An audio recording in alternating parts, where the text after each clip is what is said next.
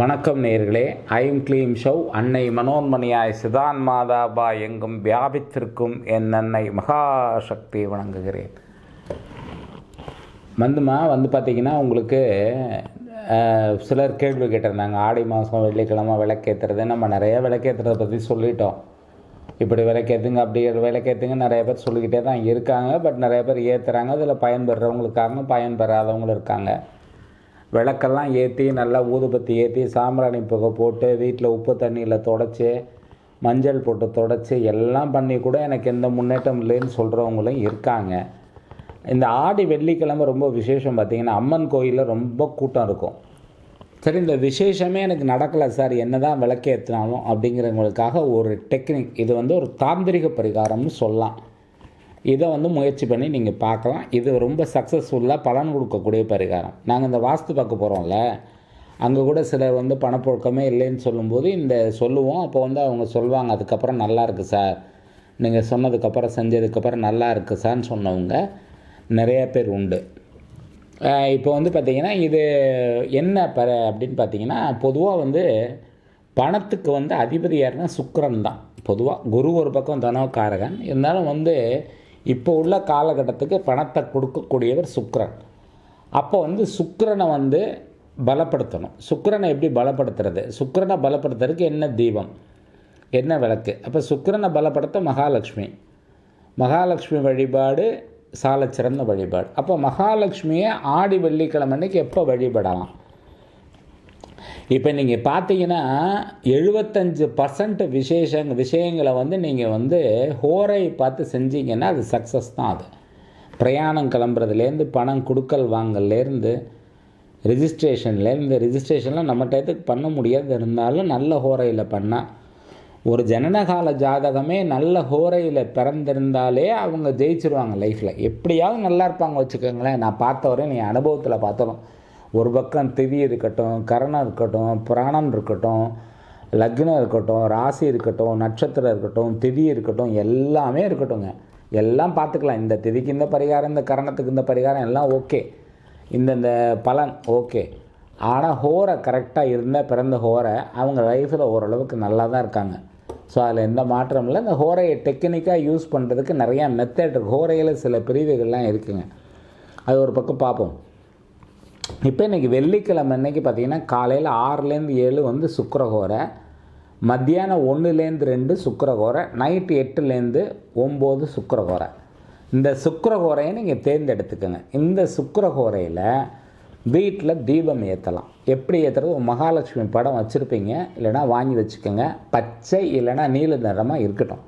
கடையில் கிடைக்குது மகாலட்சுமி படம். அது மாதிரி வாங்கிக்கோங்க. ரெண்டுமே கிடைக்கல சிகப்பு இருந்தாலும் ஓகே வாங்கிக்கோங்க. இந்த மகாலட்சுமி படத்தை வச்சுட்டு நீங்கள் அந்த விளக்கு ஒரு மண் அகல் விளக்கில் நெய்யும் நல்லெண்ணெய்யும் சேர்த்துக்கோங்க. நெய்யும் நல்லெண்ணெய்யும் இந்த நெய்யும் நல்லெண்ணெய்யும் சேர்த்து கலந்துக்கிட்டு இதை விளக்கில் ஊற்றிட்டு கொஞ்சோண்டு தேன் ஒரு சொட்டோ ரெண்டு சொட்டோ தேன் ஊற்றிக்குங்க அந்த நெய்யில். கல்கண்டு இருக்கு இல்லையா? அதை நல்லா நைஸாக பொடி பண்ணி இந்த விளக்கில் போட்டுக்கோங்க. இல்லைன்னா கல்கண்டை நல்லா பொடி பண்ணி ஒரு துணி முடிச்சு போட்டுக்கோங்க. முடிச்சு போட்டுக்கிட்டு அந்த முடிச்சுக்குள்ளே என்ன செய்யலாம்? ஒரு வாழை நாரும் வச்சுக்கலாம். நீங்கள் இல்லைன்னா வந்து இந்த கல்கண்டை பொடி பண்ணி எண்ணெயில் கலந்துட்டுனா வாழை நார் திரி போட்டுக்கலாம். இல்லை தாமரை நூல் திரி போட்டுக்கலாம். அது ரெண்டில் ஏதாவது ஒன்று செலக்ட் பண்ணுங்கள் ஏன்னா வாழை நார் திரி பீடைகளை போக்கக்கூடியது. தாமரை நூல் திரி வந்து செல்வங்களை வரவழைக்கக்கூடியது. இப்போ வந்து செல்வம் ஒரு வீட்டுக்கு வரணும்னா கூட பீடைகள் இருந்துச்சுன்னா அந்த செல்வம் வராமல் போயிடுங்க. அப்போ நீங்கள் தாமரை நூல் திரி போட்டு ஏற்றி பிரயோஜனம் இல்லாமல் போயிடும். அப்போ அந்த துணி முடிச்சுக்குள்ளே வந்து ஒரு தாமரை நூல் திரி ஒரு இது அந்த திரி வெளியில் லைட்டாக தெரிகிற மாதிரி வாழைநார் திரி ரெண்டு வெளியில் தெரிகிற மாதிரி ரெண்டு முடிச்சு போட்டுட்டு இந்த விளக்கை குறைஞ்சபட்சம் ஒரு மணி நேரம் ரெண்டு மணி நேரம் எரிய விடுங்க. மகாலட்சுமியோட மூல மந்திரம் வந்து பார்த்திங்கன்னா ஓம் ஸ்ரீம் ஹ்ரீம் ஐ மகாலட்சுமியை கமலதாரிணி சிம்ஹவாகினியை ஸ்வாகா ஓம் ஸ்ரீம் ஹ்ரீம் ஐ மகாலட்சுமி கமலதாரிணி சிம்ஹவாகினி. ஸ்வாகா இது மகாலட்சுமியோட மூல மந்திரம். சொல்ல முடிஞ்சவங்க எவ்வளோ சொல்ல முடியுமோ சொல்லுங்கள் என்னணுங்கிற அவசியம் இல்லை. நூற்றி எட்டு வாட்டி சொல்லலாம். பத்து நிமிஷம் பாஞ்சு நிமிஷம் சொன்னாவே நூற்றி எட்டு வாட்டி வந்துடும் இல்லைன்னா ஓம் ஸ்ரீ மகாலட்சுமி நமக. இதை ஒரு நூற்றி எட்டு வாட்டி சொல்லிவிட்டு உங்களால் முடிஞ்சால் மகாலட்சுமியோட அஷ்டோத்திரம். ஓம் பிரகிருதய நமக ஓம் விகிருதய நமக ஓம் வித்யாய நமக ஓம் சர்வபூதகித பிரதாய நமக ஓம் ஸ்ரத்தே நமக ஓம் விபூத்தே நமக ஓம் சூரபியை நமகன்னு வரும். இந்த நூற்றி எட்டு இருக்கும். அஷ்டோத்திரம். அதாவது நூறு சதம். எட்டு அஷ்டம். அஷ்டோத்திரம். இதை வந்து சொல்லி அர்ச்சனை பண்ணுங்க. முடிஞ்சால் மல்லிகைப்பூ. மல்லிகைப்பூக்கும் சுக்கரனுடைய பூ வந்து மல்லிகைப்பூ. ரெண்டுக்கும் பயங்கர தொடர்பு உண்டு.